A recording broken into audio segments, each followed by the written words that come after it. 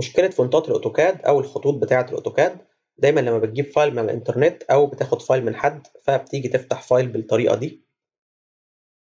تخش جواه تلاقي إن فيه شوية كلام مش مفهوم أو مش مقري كويس زي ما أنتوا شايفين هنا.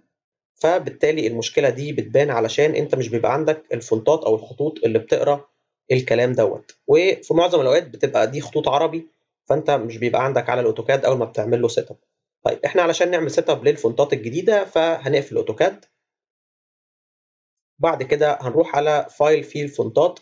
ال file ده أنا هسيبه لكم في ال description علشان لو حد حب ينزله. ونمشي معاه خطوة خطوة. هندوس right click على ال file دوت علشان نعمل له extract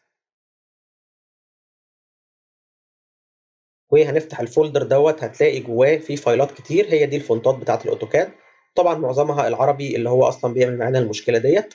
فهنعلم على كل ال font ات دي control A وهنعمل right click ونقول له copy وبعد كده هنروح على ال C وبعد كده Program Files وهنروح على اوتوديسك وبعدين هنروح على ال folder بتاع الاوتوكاد اللي متسطب فيه وهنروح على folder اسمه Fonts وهنيجي هنا ندوس right click ونعمل paste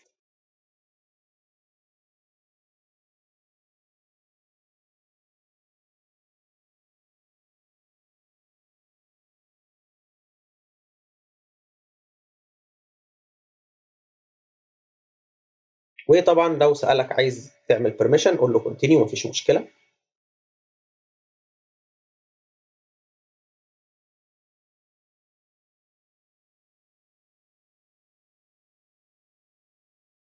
وبكده تكون ال font ات كلها اتعرفت عندك على الأوتوكاد.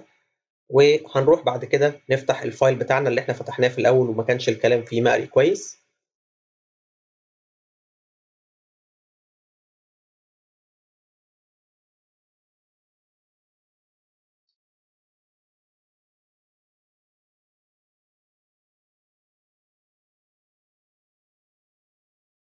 فهنلاقي إن مشكلة الخطوط كلها اتحلت. إحنا كده عرفنا ال font ات كلها علشان نقدر نقراها جوه الأوتوكاد. لو عجبك الفيديو اعمل subscribe و like للقناة عشان يجيلك كل جديد.